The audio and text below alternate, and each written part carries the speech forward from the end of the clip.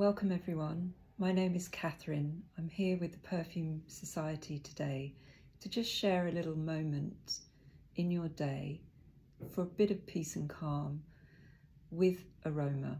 And all you need is your favourite perfume oil or essential oil or um, roll-on oil, which is what I've got here. And we're just going to take a little moment of meditation together.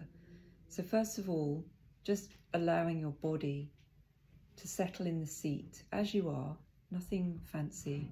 We don't need lotus position. And as you settle into your seat, taking a nice deep breath in and out in your own time.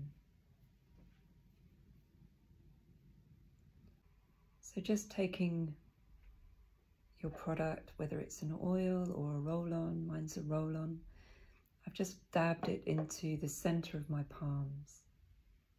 And I'm just going to cup my palms over my eyes and my nose and take a really deep breath in.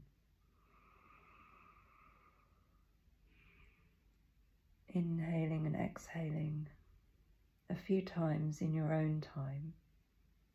No need to force or push anything. And notice the aroma. And all it takes is a few deep breaths to really appreciate your fragrance in a different way. Perhaps usually you just dab and run or spritz and run. Taking a moment like this just helps you get more from your scent. Thank you for joining me today.